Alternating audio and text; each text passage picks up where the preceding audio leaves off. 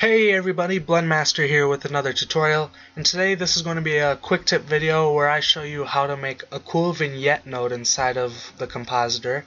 And this is a great node because it works well with any aspect ratio, and you don't have to worry about adjusting any of the values to make it looking great right out of the box. Super easy to use, and if you want to learn how to save this node group so that you don't have to append it into your scene each time, I have a link to that tutorial in the description below. But let's take a quick look at the this node group anyways.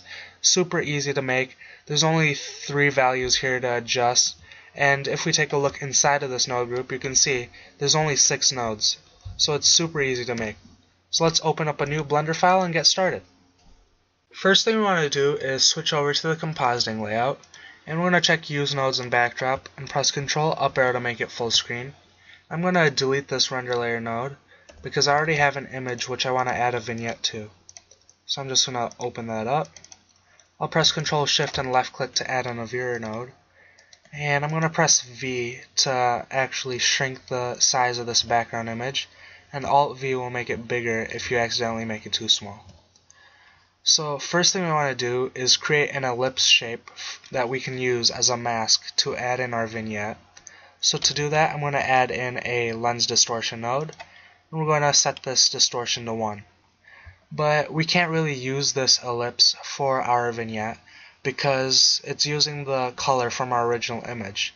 We want it to have a black background with a white ellipse but we can easily do that by adding in a mix node right before this and making sure the factor is set to 1 and the bottom color is set to white.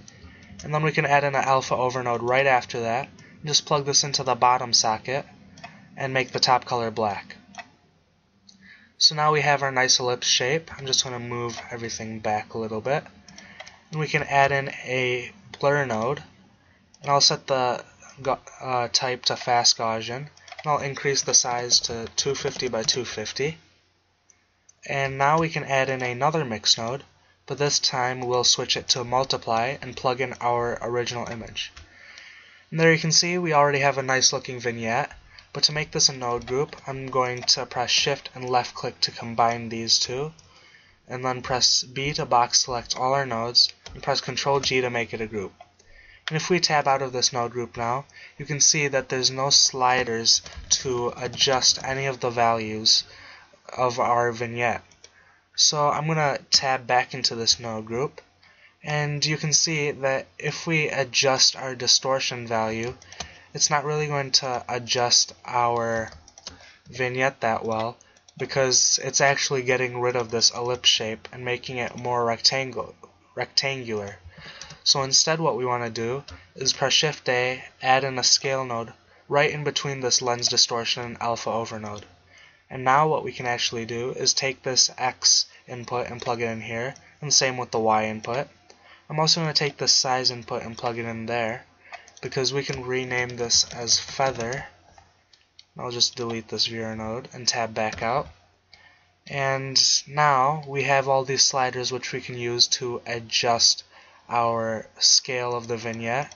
You can see if we decrease that, the vignette is closer and if you decrease the feather to zero you can see you're getting a sharp border between our image and the actual vignette.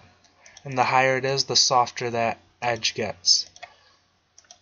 And most people use an ellipse mask to create their vignette but the only problem I see with that is that if you have an image with a different aspect ratio you always have to adjust the value for your vignette but with this node group, if I add in an image with a different aspect ratio, you can already see that the vignette adjusts perfectly to work with this scene. And if you want to add some small adjustments, that's why I have this X and Y slider here. So yeah, that's pretty much it for this tutorial. If you want to save the image, all you have to do is go to the UV image editor and switch this from render result to viewer node. Then you can press F3 to save it. I want to save the donut picture instead. So F3, and I'm going to save it as vignette test. And yeah, that's pretty much it for this tutorial guys. Thanks for watching. I hope you enjoyed and learned something new. If you have any suggestions for future tutorials, feel free to leave them in the comments below. As always, thanks for watching.